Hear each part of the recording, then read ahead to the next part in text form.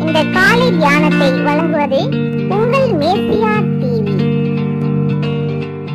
கர்த்தருடைய நாமம் பரிசுத்தப்படுவதாக இந்த காலை தியானம் நிகழ்ச்சிக்கு கிறிஸ்து இயேசுவின் இனிய நாமத்திலே உங்களை வாழ்த்துதல் சொல்லி வரவேற்பது உங்கள் மேசியா டிவி இன்றைய தலைப்பு மேகங்கள் இரண்டாம் பகுதி.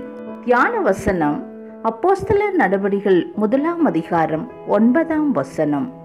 அவர்கள் கண்களுக்கு மறைவாக ஒரு மேகம் அவரை எடுத்துக்கொண்டது நேற்றைய தினத்திலே மேகங்களில் இரண்டு வகைகளை குறித்து பார்த்தோம்.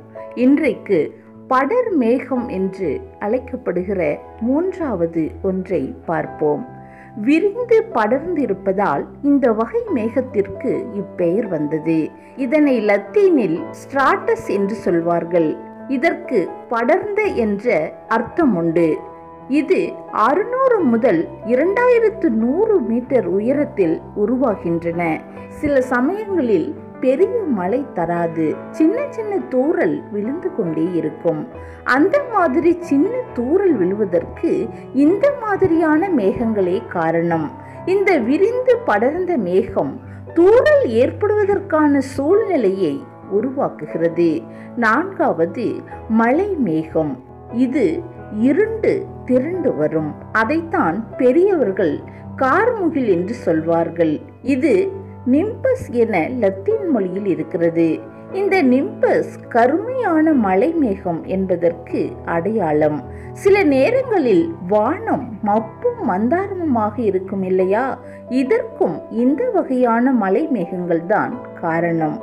ஆக மேகம் என்று மொத்தத்தில் இருந்தாலும் கூட ஒவ்வொரு வகைக்கும் ஒவ்வொரு பெயர் வைத்திருக்கிறார்கள். நாம் சாதாரணமாக மேகங்கள் என்று எண்ணுகிறோம். ஆனால் ஆண்டவர் மிக வல்லமையாகவும் அழகாகவும் அவைகளை அர்த்தமுடையதாகவும் படைத்திருக்கிறார். பொதுவாக நாமும் கூட இந்த மேகத்தை ரசிப்பதுண்டு. அப்போஸ்தலர் முதலாம் அதிகாரம் ஒன்பதாம் வசனத்தில் நம் ஆண்டவராகிய இயேசு கிறிஸ்து தம்முடைய சீடர்களை ஒன்று சேர்த்து அவர்களை திடப்படுத்தின பின்பு அவர்களை ஆசீர்வதித்து அவர்கள் மேல் பரிசுத்த ஆவியை கட்டளையிட்டு கொடுத்த பின்பு பரலோகம் ஏறி செல்கிறார்.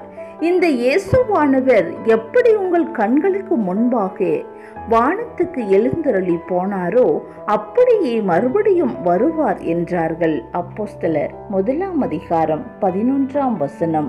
எனவே சீசர்கள் கண்களுக்கு முன்பாக எழுந்தருளி போன இயேசுவானவர் சீக்கிரமாய் வர இருக்கிறார் அவர் இரண்டாம் முறை வரும்போது அவரோடு செல்ல ஆயத்தமா? நாம் ஆயத்தப்படுவோம். அநேகரை ஆயத்தப்படுத்துவோம். தேவன் இந்த தியான பகுதியை ஆசீர்வதிப்பாராக. இப்பொழுதும் நாம் முடிவு ஜபத்துக்குள்ளாய் கடந்து செல்வோம். அன்பின் பரலோக பிதாவே உம்முடைய வருகையில் பரிசுத்தவான்களின் கூட்டத்தில் நாங்களும் இருக்க கிருவை தாரும். ஏசு கிறிஸ்துவின் வழியாய் ஜபம் கேளும் நல்ல பிதாவே. ஆமீன். மீண்டும் நாளை காலை தியான பகுதியில் சந்திப்போம். நன்றி.